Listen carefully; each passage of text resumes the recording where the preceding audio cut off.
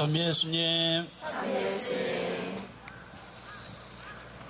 네, 오늘 드디어 저희 청담동 성당에서 어, 이곳 삼탄 유원지로 전 신자가 버스를 타고 어, 야유회를 왔습니다. 네, 이런 기회를 마련해 주신 하느님께 감사드리지 않을 수 없죠. 제가 하느님 하면은 여러분들 감사합니다 이렇게 한번 외쳐 보실까요? 네. 네. 하느님 아, 조금 더, 이저 끝에는 잘 안 하시는 것 같아요. 네. 자, 하느님. 감사합니다. 네, 박수.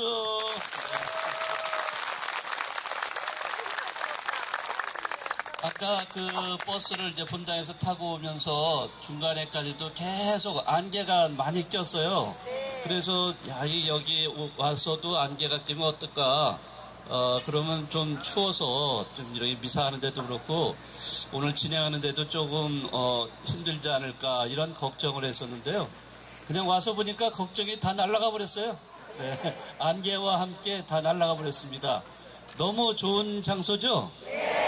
네, 여기가 이 여러 가지 면에서 입지 조건이 너무 좋은 것 같습니다.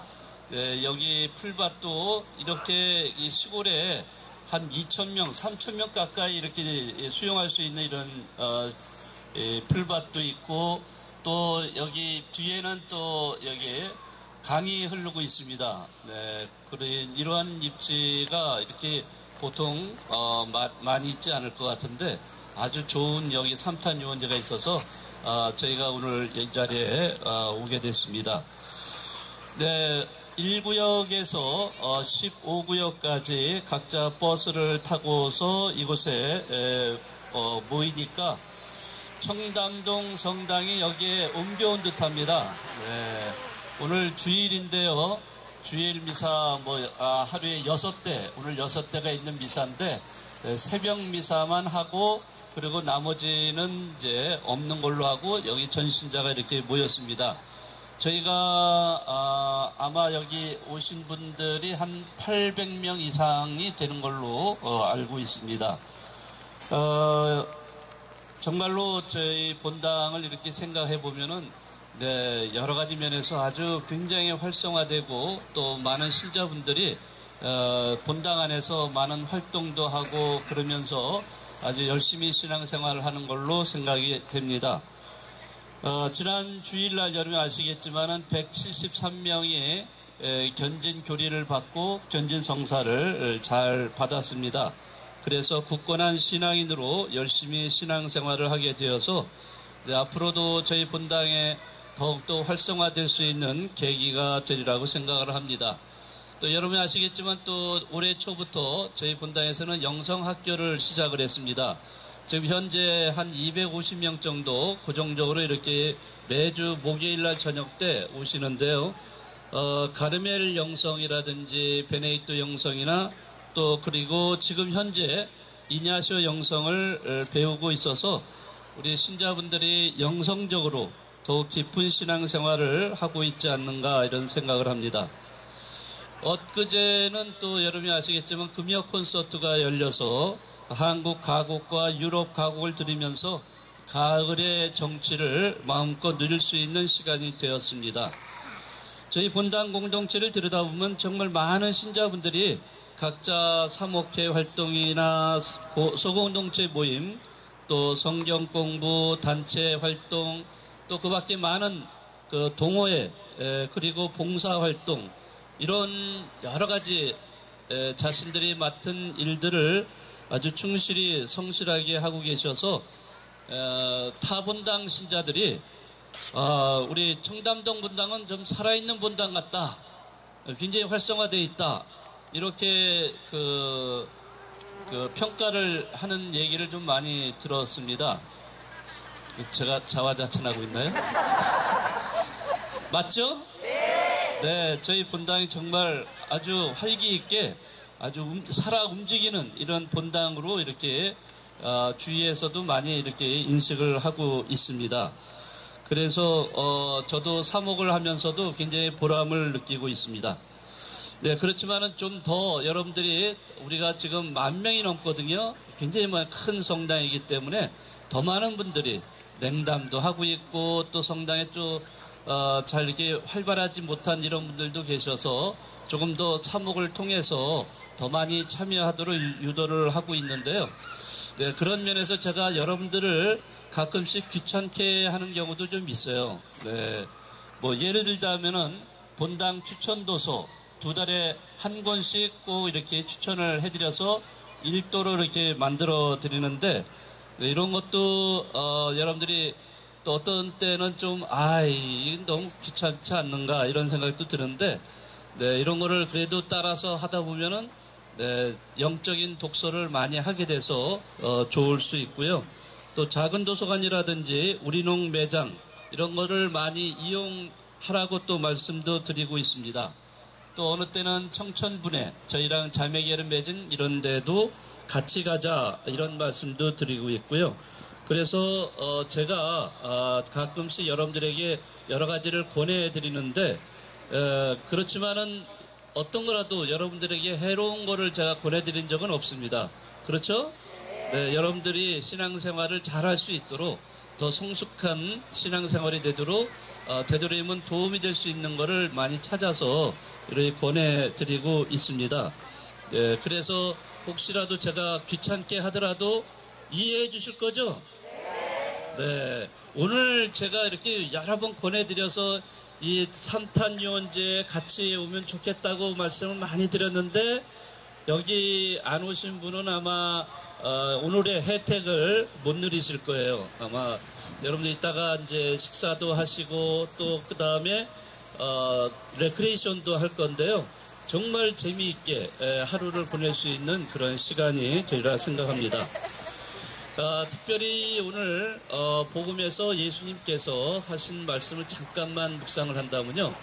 아, 여러분이 잘 아시는 그 바리사이와 세리의 기도 이야기입니다.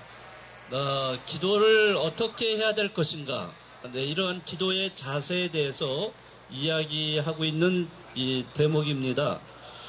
네, 우리가 신앙생활을 에, 한다는 것은 또 기도 생활을 한다는 거나 마찬가지인데요. 예, 오늘 복음의 그 비유 말씀에서 바리사이의 기도하는 모습과 세리의 기도하는 모습을 보면서 우리는 어떤 식으로 기도를 할 것이냐 하는 것을 많이 배워야 하지 않을까 생각을 합니다. 바리사이, 예, 그 사람은 성전에 들어와 가지고 재단 앞에 서서 아주 꼿꼿하게 예, 목이 아마 굳어 있는가 봐요. 꼿꼿하게 서 가지고 하느님을 향해서 나는 11조도 잘 내고 있고 도둑질 한 적도 없고 어, 정말로 성실하게 이렇게 잘못을 저지르지 않으면서 십계명을 잘 준수하면서 살고 있습니다. 그래서 저 옆에 있는 저런 세, 세리와 같은 죄인하고는 저는 다른 존재입니다. 아, 이러면서 이렇게 저를 살게 해주신 하느님께 감사합니다. 라고 기도를 합니다.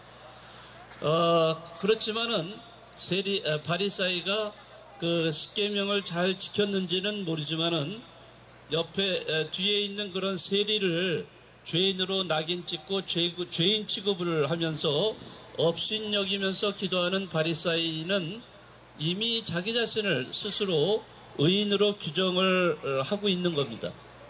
예, 나는 의인이다. 저 세리는 죄인이다. 이런 식으로 자기 스스로 판단을 내려버리고 네, 그러기 때문에 예, 그런 면에서 사실은 하느님 앞에서 기도를 한다고 하지만은 그는 하느님을 부정하고 있는 거예요. 네. 왜? 자기를 절대시하고 있기 때문에. 자기가 의인이라고 스스로 자처하고 있기 때문에 네, 하느님, 네, 하느님은 안중에도 없어요. 만약에 하느님이라고 한다면 그는 그 하느님을 만들어낸 거예요. 만들어낸 하느님, 또 아니면 그 자기가 조종하는 하느님, 그거밖에는 될 수가 없어. 네, 이런 바리사이에 대해서 우리는 그 네, 어떤 자세로 기도를 해야 될 것인가 이런 거를 좀 생각해 볼 수가 있습니다. 이웃을 없인 여기고 교만한 자세와 마음으로 살아간다면 그의 기도는 하느님이 결코 들어주시지 않을 겁니다. 오로지 세리처럼 머리도 들지 못한 채 엎드려서 자기 자신이 죄인이라고 인정하면서 자신에게 자비를 베풀어 달라라고 애원한 그런 기도 이런 기도를 하느님은 들어주신다는 거예요. 왜? 그 세리는 이제 자기를 죄인으로 인정하기 때문에 그리고 모든 것을 하느님께 다 맡기기 때문에 그렇습니다. 하느님의 뜻에 맡기고 하느님의 자비에 맡기기 때문에 네, 그런 절실히 하느님을 필요로 하고 그래서 하느님께서는 그에게 자비를 베풀어 주신다는 거죠. 네, 오늘 이 바리사이와 세리의 기도를 통해서 예, 우리는 어떤 자세로 기도할 것인가, 어떤 자세로 신앙생활을 할 것인가 하는 점을 분명히 배울 수 있을 겁니다. 예, 정말로 하느님 앞에서 우리가 겸손한 신앙인으로 네, 그리고 자신을 낮추어서 어, 정말로 겸손한 겸허한 그러한 어, 자세로 살아간다는 것이 얼마나 중요한가 이런 거를 알 수가 있습니다. 네, 오늘 이렇게 좋은 날씨를 허락해 주신 하느님께 다시 한번 감사드리고 또 여러분들이 이렇게 하느님이 허락해 주신 은총의 시간, 이 거룩한 시간, 또 아름답고 생명이 넘치는 이러한 시간이 될 것이라고 생각하면서 네, 여러분들 서로 정말로 친교를 나누고 또 이러한 뭐 기회를 통해서 서로 어, 더 우리 형제 자매들 간의 우정을 쌓고 그러면서 우리 본당이 활성화될 수 있는 좋은 하루가 되었으면 좋겠습니다. 네, 오늘 행사를 위해서 우리 수고해 주신 사목회 총회장님과 사목위원들 그리고 또 구역장님들과 모든 단체장님들 모두에게 감사드리고요. 네, 즐겁고 기쁜 하루가 되시기를 바라겠습니다. 다시 한번 여러분들 한번 우리 오늘 기쁘게 또 즐겁게 시간을 보낼 수 있도록 어, 하느님께 감사하는 마음 가지시면서 우리 하느님 감사합니다. 한번 다시 한번 외쳐볼까요? 네. 네. 자, 큰 소리로 하느님 감사합니다. 예.